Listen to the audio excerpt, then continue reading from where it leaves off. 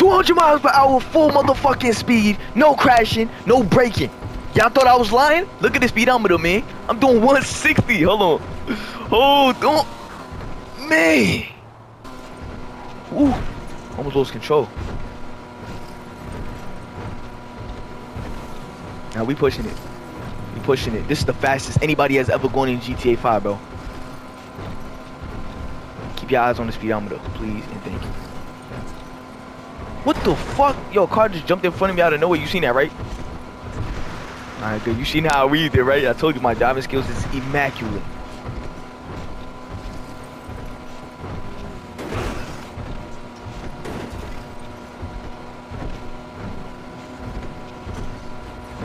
Now I'm going. I'm pushing it, bro. I ain't turning around.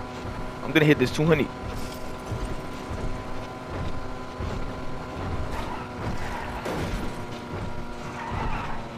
Two hundred miles an hour. Keep your eyes on the speedometer.